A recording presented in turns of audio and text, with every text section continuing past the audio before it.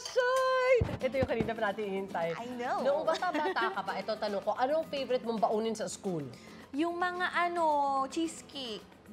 Ay, para mga tinatinapay na... Mga tinapay yung cheesecake. Ay, ang sarap nga din ang baon nun. Kami dati ang favorite ko yung, syempre kani mainit, tapos may hotdog na pula sa ibabaw, tapos oo nagmamansya. nga, no? Kasi sa kanin. Oo Ah, kasi sarap. nagpapawis, no? eh ngayon, nakapag, ano, nakakapagbaon ka pa ba sa school? Hindi na. Hindi na, no? Hindi na, tinitiis ko na lang. Kasi minsan walang break time eh. Tat tuloy-tuloy. As a student, ano As ka ba to? As a student ako. kasi talaga to si Shai, working student. Yes, pero alam mo ate, kapag sinabing ah, pambaon, dapat yan convenient, di ba? Yes, Madaling yes. bitbitin. Nakakabusog at saka syempre dapat masarap. All in one, narinig ba, Chef JR? Pahingi naman kami ng baon. O, meron na kami rin dito. Ang bango. Kainin na ito.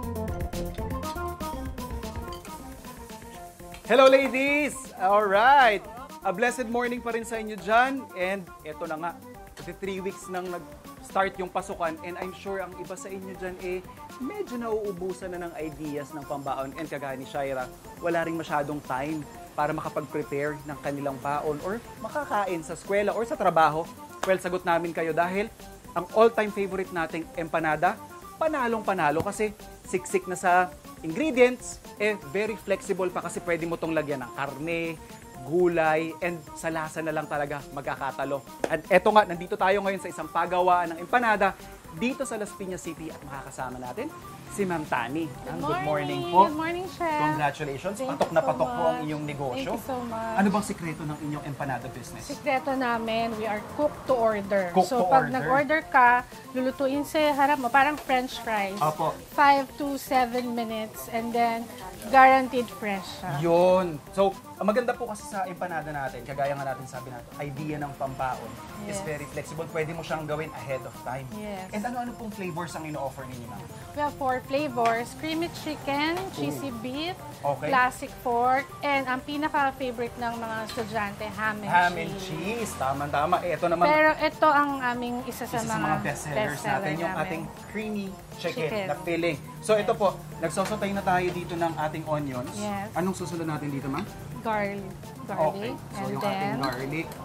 And Kasi pag then- sinabi po kasi nating empanada, may dalawang components yan. Yung Yes. isa is yung filling, yung ginagawa natin. Ano? And then ito And po then yung this is sinasabi the nating gulay. vegetable. Alright. Pasok na pasok sa mga mamis na gustong siksikan ng mga healthy ingredients Yes. yung baon ng kanilang mga anak, ano? So Or pag half cook na siya, Okay po. pwede na nating ilagay yung diced chicken natin. diced chicken. Okay. So, even yung mga ingredients natin, readily available. Yes. Walang komplikado, walang mahirap hanapin, no? Yes. Tapos titimplahan lang natin to ma'am na? Salt and pepper Alright. to taste. The taste na lang po yan. So, kanya-kanya na lang. Sabi nga natin kanina, sa timpla na lang talaga nagkakatalo, ano? Yes. And then, So, after po natin pag, yung med, pag medyo cook na, we will put the cream. cream, So, doon naman yes. papasok yung creamy Yes. element ng ating filling. Yes. Alright. So, lagay lang na po natin yan. Yan. Tapos maganda dito, kung mami ka, pwede mo pang siksikan yan ng other vegetables, no? Yes. Yung iba, may gusto ng may raisin, yung mga Or sweet green elements. peas. Green peas, pwedeng pwede rin. So, hayaan lang natin itong mamaluto. And sabi nga natin kanina, may ilang Two elemento ang ating empanada. One is yung ating filling, second is yung dough, which is Dough. very critical din. Yes. So, we have here all the dry ingredients. Imimix lang natin yan with butter or fat. And then yung ating wet ingredients na milk, water, and And eggs. egg. Yan. So, imimix lang po natin yan. Ininid natin siya or imamasa until makuha Makuha natin. natin itong consistency na dough. Okay, ang hinahanap po natin consistency dito ay hindi sticky. Yes. Tapos kapag pinindot po niyang ganyan mga kapuso, eh, hindi po dumidikit sa ating mga daliri. Yes. Alright, so, ito pang, paano po natin siya mailalagay dito? So, ifa-flatten lang So, natin. to, ano? flatten natin, tapos i-roll natin. So, i-roll lang po yan. Any any equipment, any tool na meron Yan. kayo, pwedeng mano-mano ng rolling kamay. pin. Rolling and pin na then, ipa-flatten natin. And Yan. then, we have ano already. Yung ah, ating pang seal, pang ano? molder. Opo. Ito, readily available kahit sa anong shop. Sa online, Yeah. pwede nyo bumili niyan. So, hindi Yes. na kayo mahihirapang maghanap nung... Actually, ito na lang yung parang pinaka-special tool. Aside Yes. dun sa mga cooking equipments na, na, na gagamitin natin. Tapos, we'll just seal it with the white Egg egg. white, oo. Ayan. So, maganda dito, ayan, no?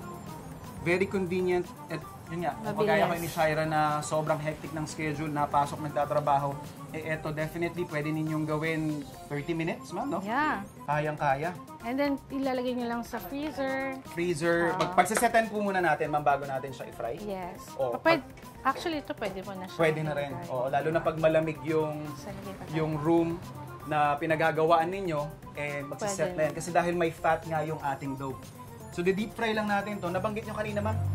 5 to 7 Five to minutes. seven no? minutes, yes. Oh, very nice. Oh, so, antayin lang po natin yan. Or, since luto, po, luto na po yung filling natin, what we're really looking for is yung, Is yung- golden brown. Yes, tsaka para ano, medyo crunchy yung ating ano, And yun din po, ah, ingatan lang din natin, no, ma'am, na huwag masyadong mataas yung temperature kasi Yes. ang mangyayari naman, since may harina yung ating dough, kapag masyadong mataas yung temperature, baka nag-brown yung labas, eh Pero, yung gitna naman hilaw. So hilaw. hindi rin natin gusto yon. So ito, 5 to 7 minutes, makakakuha na tayo ng very yummy talaga na empanada natin.